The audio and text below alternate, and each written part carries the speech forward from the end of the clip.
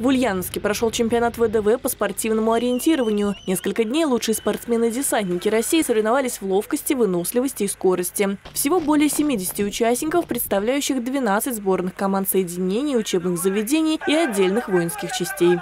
Первый день соревнований – это кросс-классика, второй день соревнований – кросс-лонг и третий день – эстафета.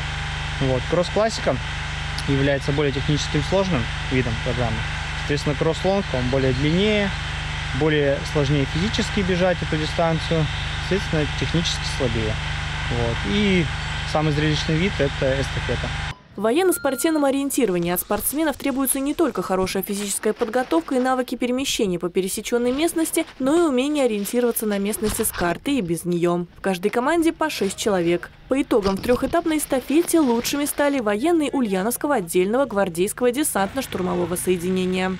В соревнованиях принимаю участие не первый раз, выступаю во многих видах. Для меня самое сложное было второй день. Слишком много э, дорог, э, надо было вчитываться в карту, следить за каждым своим действием, когда ты бежишь. Моя команда меня подбадривала, старт дался легко. По результатам чемпионата второе место заняла команда Улан-Удэ, а третьими стали спортсмены Уссурийска. Победителей и призеров состязаний наградили кубками и грамотами. Анна Тищенко, Улправда ТВ.